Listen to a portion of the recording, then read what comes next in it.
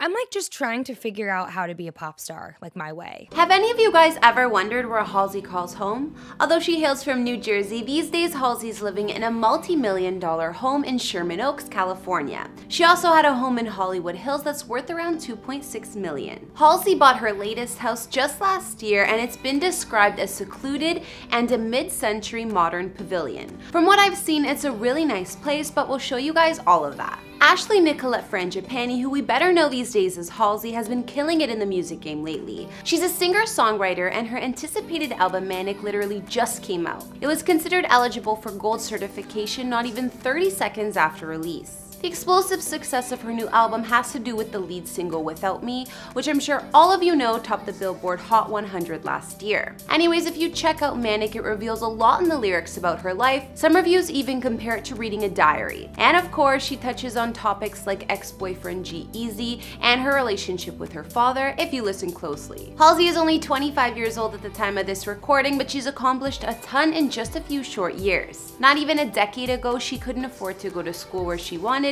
and was going down a much darker path. Her debut studio album Badlands went certified platinum in 2015 along with four of its singles, and her fan base and popularity grew, she became a more mainstream artist. These days, Halsey's estimated net worth is around 12 million US dollars. Her talent in music has gotten her away from the small town she grew up in in New Jersey, and even being homeless at one point, to living the life of a celebrity in Los Angeles. Hey guys, it's Kara and today we're doing another house tour here on Famous Entertainment. We're gonna look at where Halsey lives in California, including her new house in Sherman Oaks, where she lived before that in Hollywood Hills, and more. If you like these videos, make sure you're subscribed and ring that bell to be notified when we post so you can always be up to date. We've also done house tours on the likes of Lady Gaga, who's one of Halsey's inspirations, and Harry Styles, and we'll have links to those at the end of this. Be sure to follow me on Instagram because I love connecting with you guys. I've also been reading all your comments and I'm gonna be responding to some at the end of this. I need you to let me know who to do next in the comments down below and whose home you'd like to see. Now let's get into this video.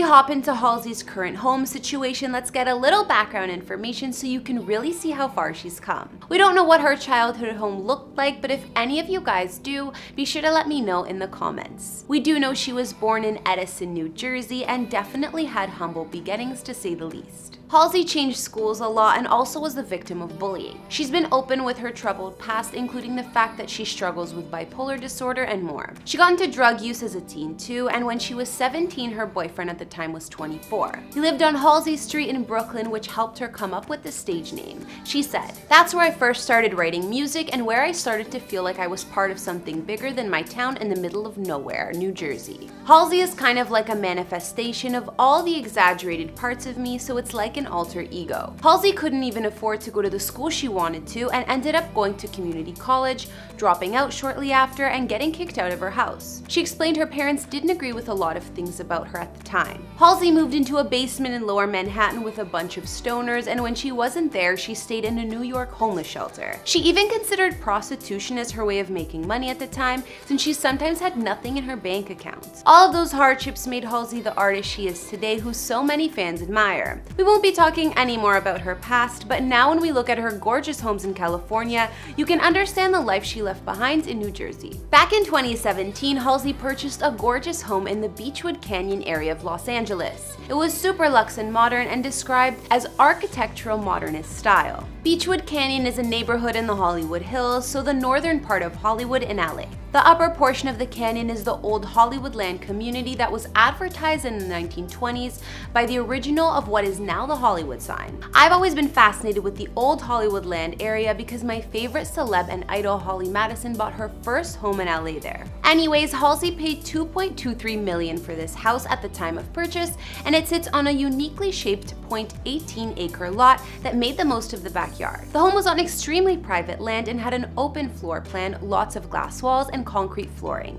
The inside of Halsey's house spanned 2,490 square feet and has four beds and three bathrooms. Of course, there were all the usual rooms like living areas, a dining room, kitchen, and a den. The house opens up to a double height foyer with shaped windows and the living room is just a step down from the entryway. There you'll find a fireplace that makes the modern home much cozier. The kitchen area also has double height ceilings and high windows to let in more lights, and you'll find a bar just beside her dining room. Halsey's master suite had floor to ceiling windows and a lot of natural lights, and her ensuite bathroom was constructed with wood flooring and walls, even a rainfall shower. Since Halsey's Beachwood Canyon home was on a steep hill and surrounded by trees and hedges, there was a lot of privacy here. And of course, there was also a high wall for additional security. Outside, there were multiple entertaining areas, including a decked courtyard with built-in barbecue and an outdoor kitchen and lounge under a deck. There is also a beautiful infinity edge swimming pool, spa, and fountain to complete the vibe of the home.